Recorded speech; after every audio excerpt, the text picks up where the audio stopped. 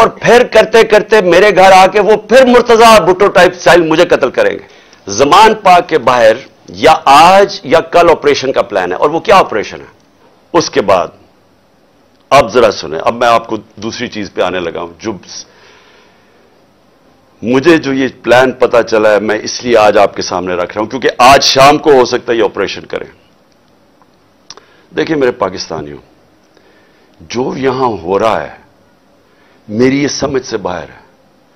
मुझे जो कत्ल करने की, ये जो मुझे गोलियाँ लगी, ये अल्लाह का कोई खास कोई कर्म था कि उसने मुझे बचा लिया, जो वजीराबाद में मेरे से हुआ। डेढ़ महीना पहले मैं लगा रहा कि इन्होंने एक दीनी इंतहा पसंद के नाम पे मुझे कत्ल करना है। मैं कहता रहा, मैंने दो जलसों में बताया, मैंने अपनी सारी सारी मेरी टीम को मैंने बताया हुआ था कि होने वाला है।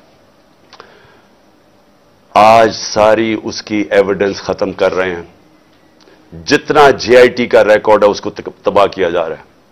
कौन कर रही है क्यों किया जा रहा है? किसको खौफ है?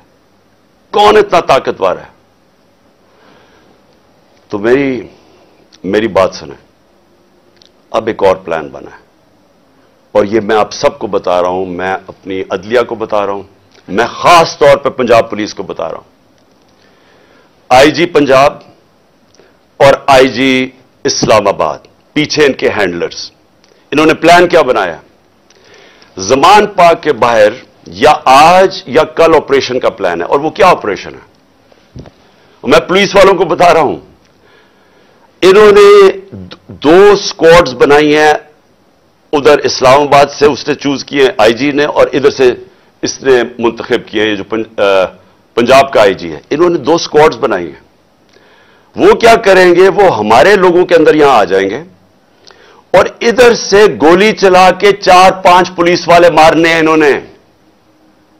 हमारे खड़े होके, हमारे लोगों के अंदर ये जो लोग भेजेंगे, क्योंकि यहाँ तो बड़े लोग होते हैं, उनके अंदर रह के इन्होंने चार पाँच पुलिस वालों को कत्ल करना है। और उसके बाद वहाँ से अटैक आना है। उन्होंने गोलियाँ चलानी है। हमारे लोगों को यहाँ मारेंगे, मॉडल टाउन टाइप कत्ल करेंगे, और फिर करते करते मेरे घर आके वो फिर मुर्तजा भुट्टो टाइप स्टाइल मुझे कत्ल करेंगे। ये प्लान बना हुआ है, या आज इन्होंने करना है, और या कल करना है।